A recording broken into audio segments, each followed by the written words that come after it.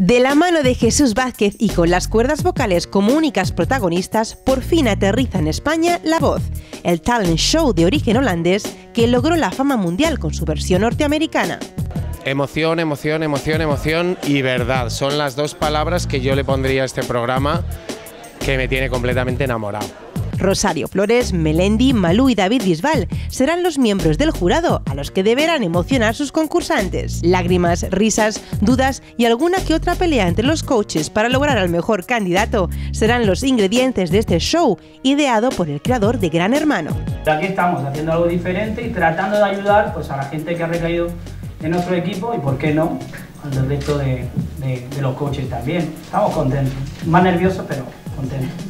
La cara femenina del nuevo espacio de Telecinco y producido por Boomerang es la simpática Tania Yasera. La presentadora será la encargada de dar a conocer la opinión del público en las redes sociales. Que yo soy vuestra conexión, vuestro link para lo que queráis. Mi teléfono está aquí, está a vuestra disposición.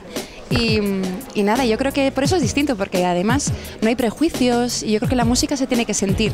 Y la gente, yo creo que en la voz nota, se me pone la piel de gallina al hablar, fíjate que sí, que la música se tiene que sentir y la voz, la auténtica voz, te tiene que tocar por dentro sin apoyo audiovisual. Después de seis meses de preparación y un casting de 10.000 personas por toda España, por fin comienza el espectáculo.